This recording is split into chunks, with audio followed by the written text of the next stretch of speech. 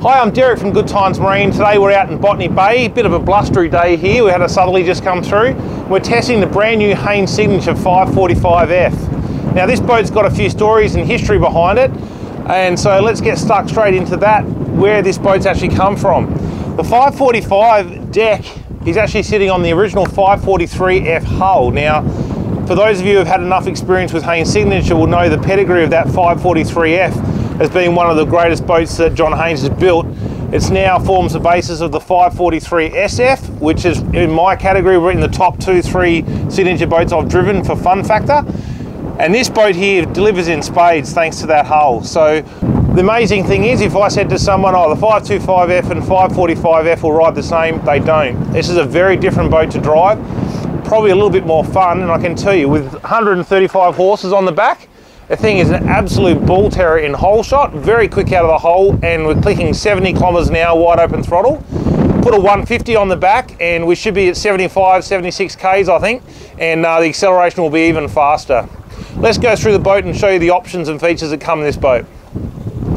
All right, so let's just go up in the bow here. This is my son Samson, number two child. He's out for the day. He's got school holidays and having some fun at the shop. All right, so you can just see how easy this walkthrough is.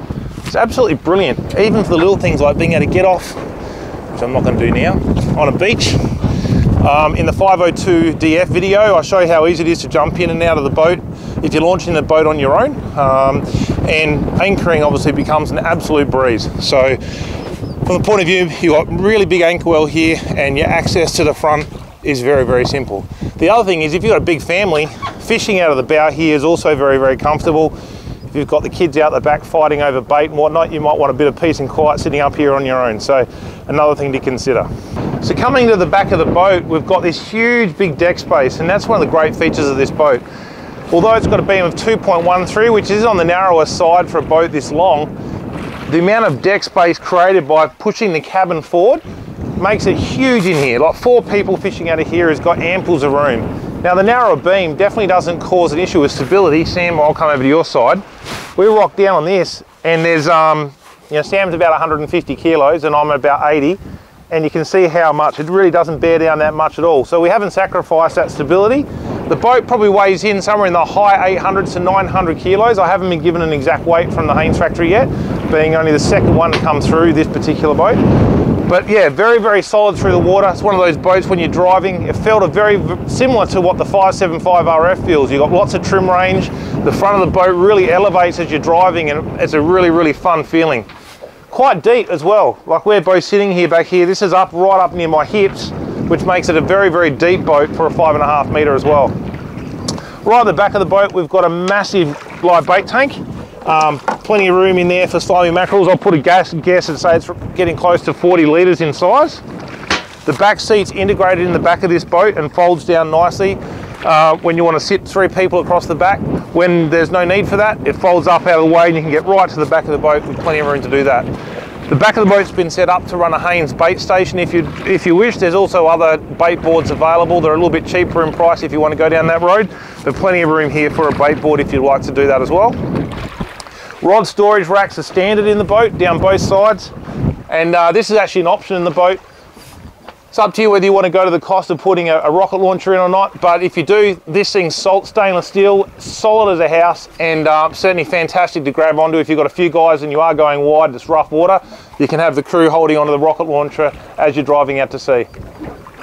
For the driver helm, we've got a nice modern dash layout. So we've got an area here where you can run a couple of analog style gauges up here, like a Smartcraft Hack on Speedo.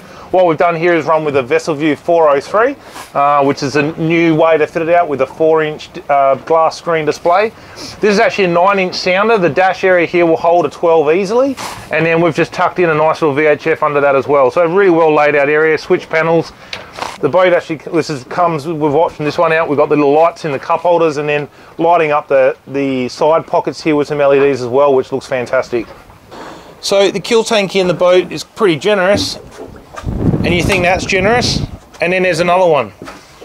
So it's absolutely bloody huge. So if you come home with a few fish in filling up this area, you've done exceptionally, exceptionally well for the day. So very, very generous area in here. I'm going to step in here and show you up in the cabin as well.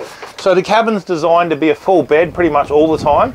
But in the case where you've got some heavy inclement weather, you can actually jump in here. This is actually a footwell area. And even someone my size can quite comfortably sit in here and uh, have plenty of room in here, probably for two adults to be able to sit without any problems at all. I was going to put it out there and say that the 545F is going to have a cult status. It really is a boat that pulls so many amazing features together to produce an excellent on-water boat, a very, very usable boat, and a boat that crosses over nicely between fishing and a great family all-rounder as well. Looking at it from the boarding steps, this great transom door, this very comfortable back seat, heaps of storage for rods and uh, the side pockets here. Moving right forward into the cabin with a great bed area, also great to sit in if you want to. Then that fold open roof, really good easy access for the boat in the front bow, in the stern. It's just got so much going for it. So come down, talk to us down at Good Times Marine. The team would love to speak to you about the signature range and uh, in particular this 545F. If you're looking for a five and a half meter boat to go fishing, spend some time on the water with the family, this boat will deliver in spades.